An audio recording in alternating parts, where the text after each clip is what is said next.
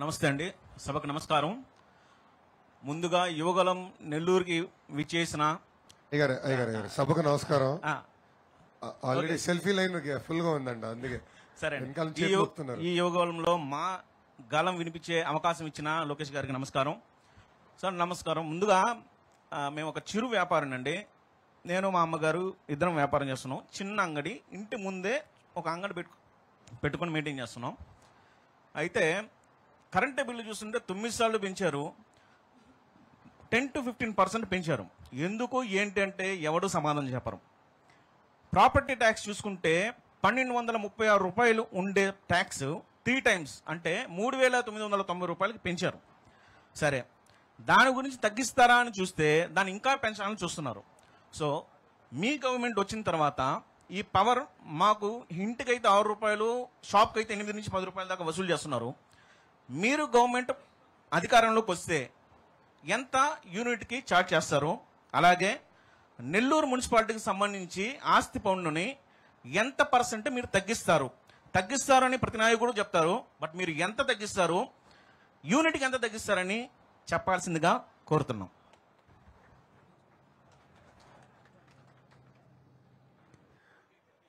పాలిచ్చావని ఎంత పాలు ఇస్తావు కల్లా ఇస్తావు? అడిగినట్టుంది రవా చంద్రబాబు నాయుడు గారు ముఖ్యమంత్రిగా ఉన్నప్పుడు తమ్ముడు ఒక్క నిమిషం. చంద్రబాబు నాయుడు గారు ముఖ్యమంత్రిగా ఉన్నప్పుడు కరెంటు ఛార్జీలు పెంచామండి? పెంచామా? అదేవిధంగా పన్నులు ఏనాడైనా పెంచామా? లేదు. అన్న వాస్తవంగా నేను కమిట్ అవ్వాలని అనిపిస్తుంది. కరెంట్ ఛార్జీని తగ్గించగలుగుతాను. కానీ జగన్ ఎంత డ్యామేజ్ చేశాడో నాకు తెలియట్లా. విద్యుత్ రంగంలో ఎంత డ్యామేజ్ జరుగుతుందో నాకు అర్థం అవట్లా. మన రాష్ట్రంలో ఫర్ ఎగ్జాంపుల్ మూడు వేల రూపాయలకు అమ్మే మీటర్ని పక్క రాష్ట్రంలో వెయ్యి రూపాయలకి అమ్ముతున్నారు ఈ భారంతా ఎవరు కట్టాలి? మీరు. మార్కెట్లో సరైన ఒప్పందాలు చేసుకోకుండా ఏడు రూపాయలు ఎనిమిది రూపాయలు పది రూపాయలు పర్ యూనిట్ పెట్టుకుంటుంటే ఆ భారం ఎవరు కట్టాలా? మీరు. సో ఈయన ఎంత భారం మోపాడో నాకు అర్థం అట్లా ఓపెన్గా చెప్పాలండి so honestly I don't have an answer for that I'm sorry I would love to answer కానీ నాకు తెలియదు ఎందుకంటున్నానంటే ఎంత భారం డిస్కామ్స్ మైన జ- జగన్ మోపాడనేది నాకు తెలియదు ఆర్టీఏ పెడితే సమాధానాలు రావు. అన్ని రకాలుగా ఎదుర్కొంటుంది ప్రభుత్వం. సమాధానం వచ్చే సమాచారం రానిట్లా ఆ ఇబ్బందులు ఎదుర్కొంటున్నాం. సో ఆనెస్ట్లీ దాని గురించి నేను నేనైతే ఓపెన్గా స్పందించలేదు ప్రాపర్టీ ట్యాక్స్ మీరు అన్నట్టు ఇంకా పెంచబోతున్నారు. వేకెంట్ ల్యాండ్ ట్యాక్స్ కూడా పెంచబోతున్నారు. ఎందుకంటే అది చట్టంలో ఇన్బిల్ట్. ఆనాడు బొత్స సత్యనారాయణ గారు మున్సిపల్ అడ్మినిస్ట్రేషన్ శాఖ మంత్రిగా ఉన్నప్పుడు చాలా స్పష్టంగా శాసన మండలి సాక్షిగా తెలుగుదేశం పార్టీ పోరాడింది. ఆనాడు చెప్పాం కూడా మీరు ఇది చేయొద్దండి. మీరు అనుకున్నట్టు పదిహేను శాతం పెరుగుతాం కాదు కదా రూపాయి మూడు రూపాయలు మూడు రూపాయలు పది రూపాయలు పది రూపాయలు యాభై రూపాయలు అయిపోతుంది. ఇన్నండి అండి చెప్తే కూడా ఇలా లేదు పదిహేను శాతమే పెరుగుతుంది పదిహేను శాతమే పెరుగుతుందని చెప్పిన. ఇప్పుడు చూడండి భారం పడింది. డెఫినెట్లీ ట్యాక్సెస్ తగ్గిస్తాం. దాంట్లో డౌట్ లేనే లేదు. ప్రాపర్టీ ట్యాక్స్ తగ్గిస్తాం. దాంట్లో సందేహం లేదు. లే ఎందుకంటే అది కానీ చేయకపోతే మనం వ్యాపారం చేసే పరిస్థితి లేదు. కానీ మీరు అన్నట్టు మైక్ ఇవ్వండి. ఎగ్జాక్ట్ అమౌంట్ ఎంత అని మీరు అడిగారు. ఆ అమౌంట్ నేనైతే ఇప్పుడు అరైవ్ అవ్వలేనండి. ఓకే. సార్ ఒక నిమిషం. ఒక నిమిషం గతంలో తెలుగుదేశం పార్టీ ట్యాక్సులు తగ్గిస్తుందని ఏనాడు చెప్పలా. ఎందుకంటే అప్పుడు భారం ఇంత లేదు. కానీ ఇప్పుడు భారం ఎక్కువైంది. నేను చెప్పినట్లు మొత్తం పన్ని ప్రక్షాళన చేస్తాం. ఒక పద్ధతి ప్రకారం ఫేజ్ ద్వారా తగ్గిస్తాం. That we will take it sir, చిన్న కరెక్షన్ అండి.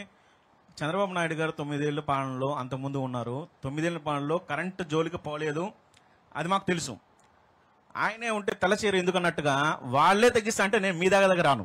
అది కాన్సెప్ట్ వాళ్ళే కరెంటు బిల్లు తగ్గిస్తానంటే మీ దగ్గరికి మేము ఈ టాపిక్ తీసుకోవాల్సిన అవసరం లేదు.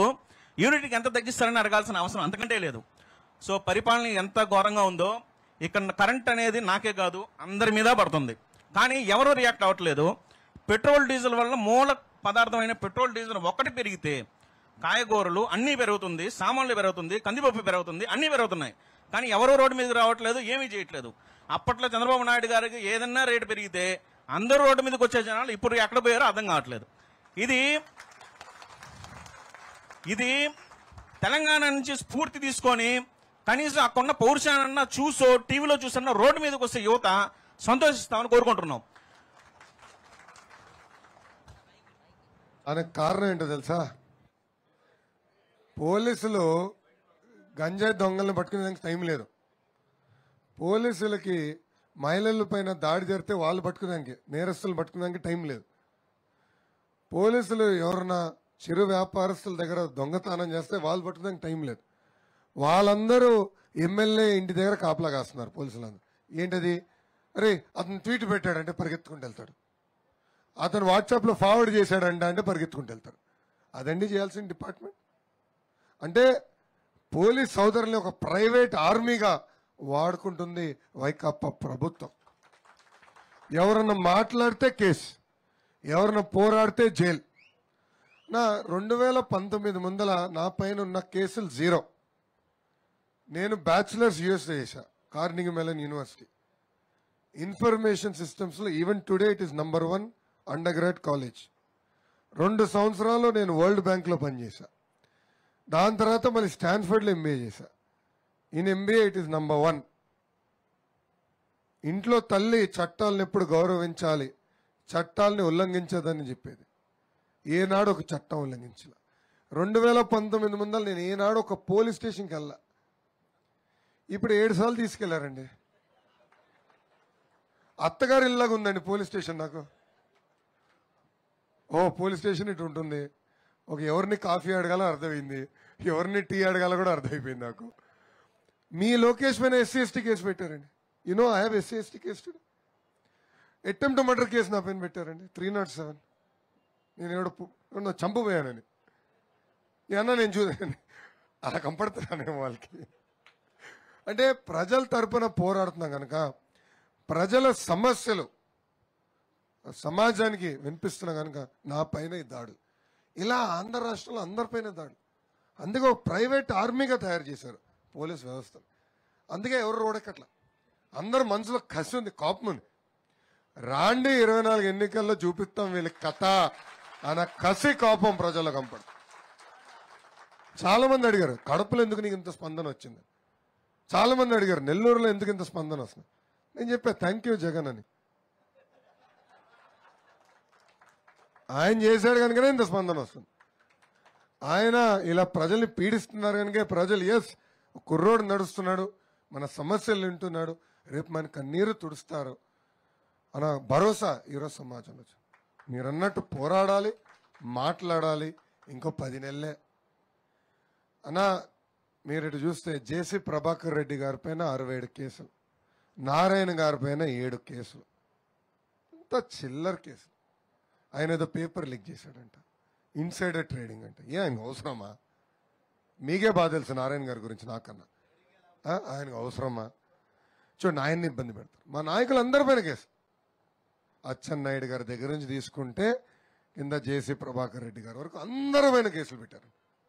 మమ్మల్ని ఎంత వేధించారో మీరు వేధిస్తున్నారు మీరు బాబు గారిని కూడా ఎట్టగడో ఒక కేసులో ఫిక్స్ చేయాలా? ఒక రోజున జైలుకి తీసుకెళ్ళాలి పంపించాలనేది జగన్ కోరికంట. పాప ఆయన తెలీదు. చంద్రబాబు నాయుడు గారి కంటే చట్టాలన్నా ఒక గౌరవం ఒక భయం. మీ లోకేష్ ఒక్క తప్పు చేస్తే ఫస్ట్ నన్ను కాలర్ పట్టుకుని బొక్కలు వేసే వ్యక్తి చంద్రబాబు నాయుడు గారు. కొడుకని కూడా చూడడు. అంత పట్టుదల క్రమశిక్షణ బాబు గారు. అందుకే ఎవరేం చేయలేకపోతున్నా నేను మంత్రిగా ఉన్నప్పుడు పదహారు వందల ఫైల్స్ క్లియర్ చేశానండి. ఒక డిపార్ట్మెంట్ పంచాయతీరాజ్ గ్రామీణాభివృద్ధి శాఖ. యాభై ఐదు నిమిషాలు యావరేజ్ టైం నాది ఫైల్ క్లియరెన్స్. ఒక్క తప్పు చేయాలి. అందుకే రోజు తిరగలుగుతున్నా పరదాలు కట్టుకుని తిరగాల్సిన అవసరం ఉండట్లే. మీరు మాట్లాడాలా? యాజ్ ఎ యంగ్స్టర్ మీరు పోరాడాలి? యూ షుడ్ టాక్ మీరు పది మంది మాట్లాడండి. ఆ పది మంది ఒక పది మందితో మాట్లాడండి. ఇట్లా ఒక చైన్ రియాక్షన్గా చేస్తేనే సమాజంలో చైతన్యం వస్తుంది. అందుకే ఈ యువగలం పాదయాత్ర అనేది మీలాంటి యువకులకు ఒక వేదిక. మీ గలం నాకు కాదు రాష్ట్రం మొత్తం వినిపించడానికే ఇది ఒక వేదికగా నేను భావిస్తున్నాను. Thank you